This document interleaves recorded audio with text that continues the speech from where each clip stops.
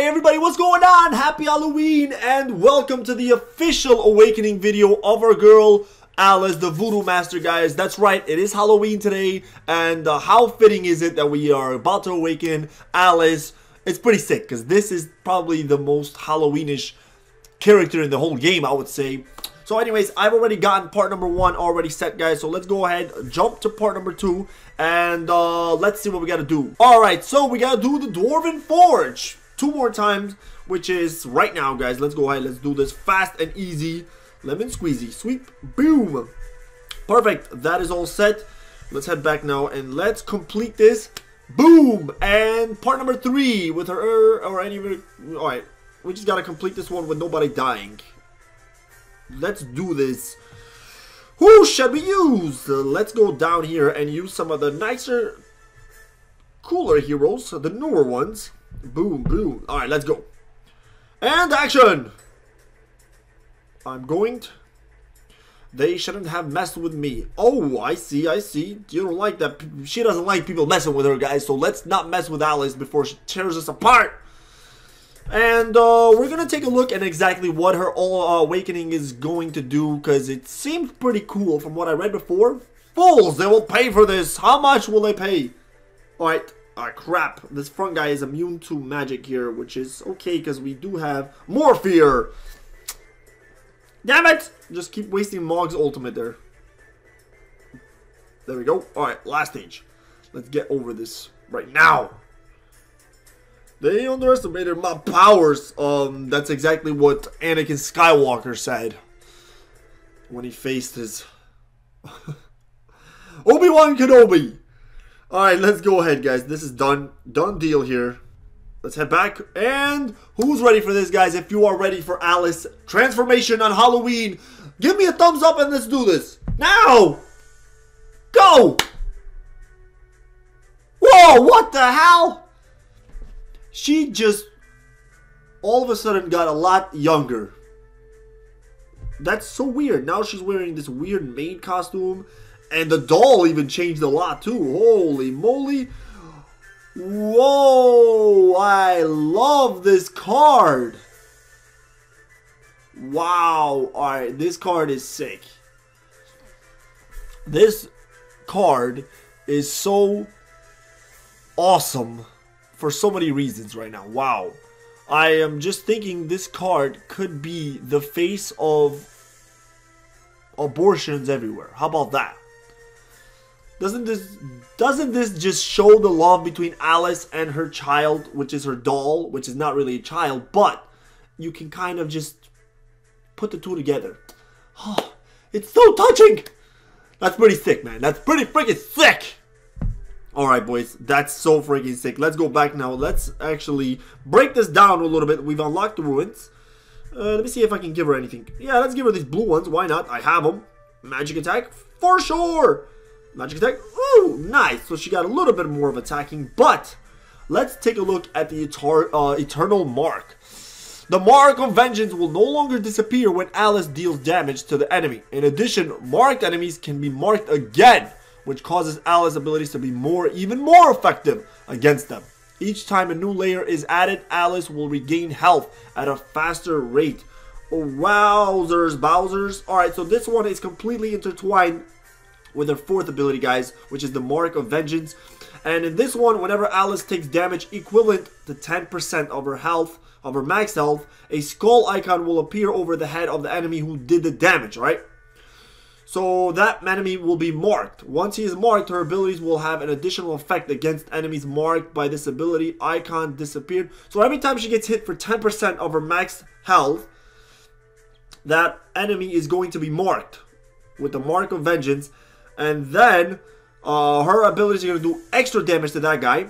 The icon disappears once Alice dies. Oh, it deals damage to that unit. But Alice will gain permanent boost in magic attack, magic armor, and physical armor up to 5 times. Alright, so once they deal 10% damage, the enemy that dealt the most damage is going to be marked.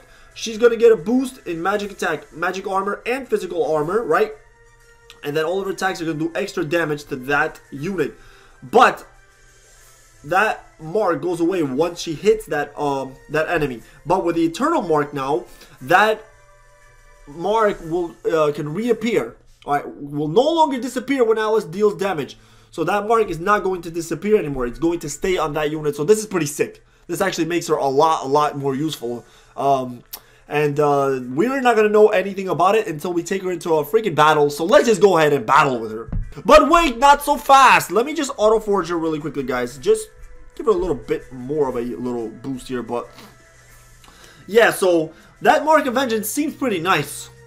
Hmm. Now, we gotta have to break down her HP to see how much HP it is because 10% might be a lot. So you might not want her to have the most HP either way because you want... Well, uh, it depends what kind of a hit she's to take, but you want the enemies to do 10% damage so they can be marked with the Mark of Vengeance. So this way when she hits them, does more damage, right? So let's go ahead. Let's take a look now and see what the battle is going to withhold. Alright guys, so here we go. Directly in a battle here. So let's see what she's to do. I ended up using Petros and Aruk in the front with Alice. She's a frontline, uh, don't you, don't forget guys, she's a frontline, not a tank, a DPS hero. But uh, she goes in between these heroes here, which is kind of good. And it's kind of not that good either because she's probably not going to be able... Oh, there we go. Alright, look, check it out. Oh, you missed it. Uh, Seraphine did the most damage on that attack, which means that she got hit with the mark of vengeance. So she was taken out pretty quickly, but this whole battle was uh, kind of not even fair. I destroyed them. Yeah. Alright guys, here I got another battle for you guys here because I wanted you to see her a little bit more in action here. And I went with more of a different squad here. Not a completely overpowered squad, but this one is a little bit better. So let's see what happens. Xanos Ooh, he almost died, but he got his ultimate off here now. Now, check it out. There's two heroes that are mar marked, guys. Prince is marked, and um, Ethereal was marked as well. So that was two heroes marked at that time.